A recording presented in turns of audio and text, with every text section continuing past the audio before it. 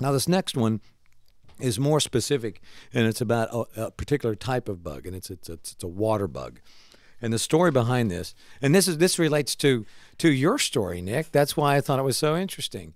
I have a brother who got uh, thrown accidentally into the hospital instead of jail, and he um, likes to take drugs. Now, I'm not saying that your brother or you or any of that is related, but we were talking of things earlier.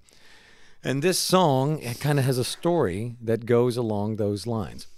So if you if you start if you start, I'll, I'll I'll talk underneath it so they can feel as though something will happen uh, musically.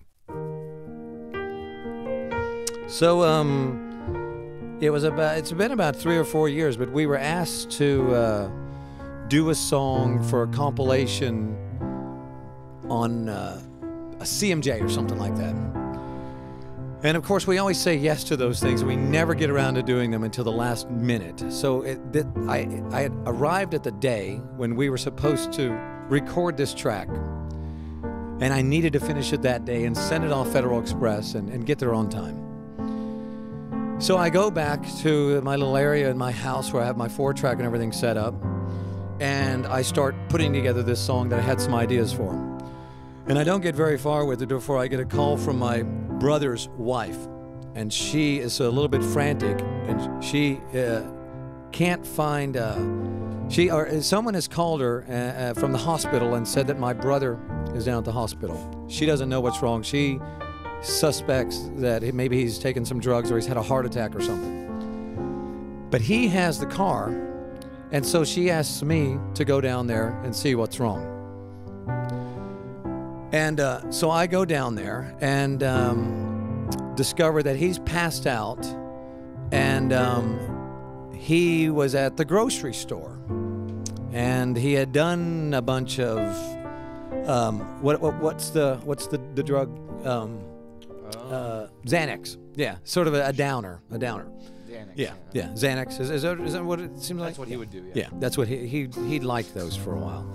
And he had gone to the grocery store and bought a bunch of stuff and as he was taking it to his car ended up passing out in his car. But i think he actually got in someone else's car by mistake and the cops sort of came didn't know what to do with him and took him down to the hospital. And this is kind of the story that i'm sort of exaggerating a little bit but making it into a little bit more drama.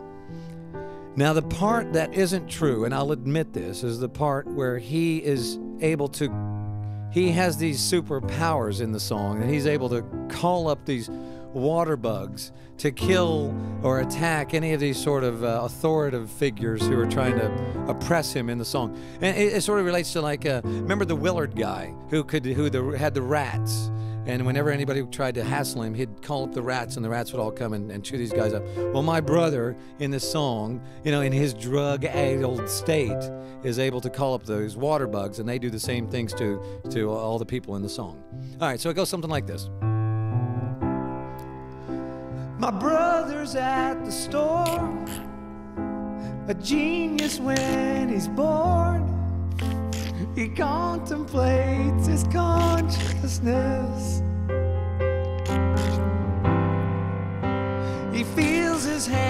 They sweat. He can't connect it yet. And he pulls all his resources. And he calls up the insects he commands and the water bugs attack the policeman. All right, so that clicking sound you hear, that's Michael once again leading the chorus of insect sounds. Now, the other day we did this song, and it, we, it occurred to us that water bugs don't actually make any noise. That's why you never know where they're at. So when you, you, you when you discover them over there by the by their air conditioner or something, they're just silent. They just sit there. But Michael is kind of making a very what would really be a microscopic sound, and he's magnified it by a thousandfold. Okay.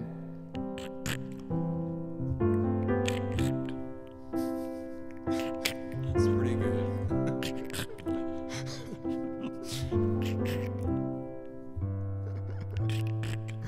Okay. My brother's at the morgue.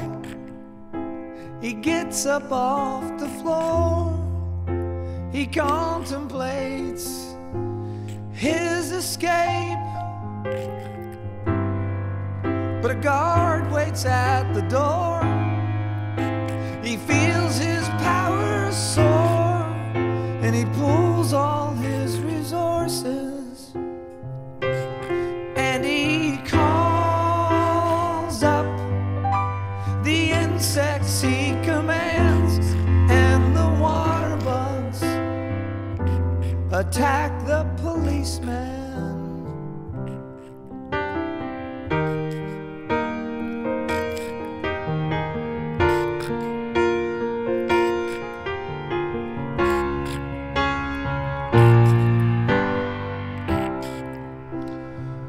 So, if I can remember the story correctly, I believe that he finally just woke up at the hospital, and I think he ended up just walking home.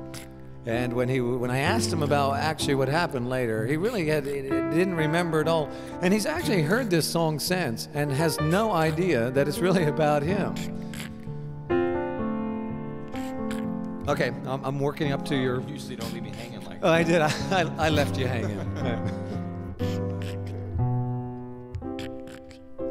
he tries to make it home. He stops to use the phone. And he can't remember where the house is. But a cop waits at his car. So he needs his friends once more, and he pulls all his resources,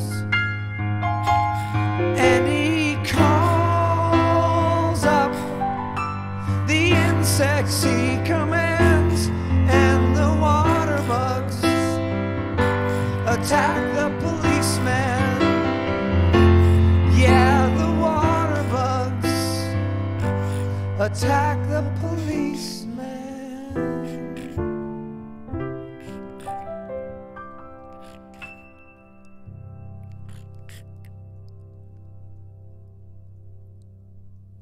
Oh, there you go. Nice ending. Could have done with a couple of those water bugs last night.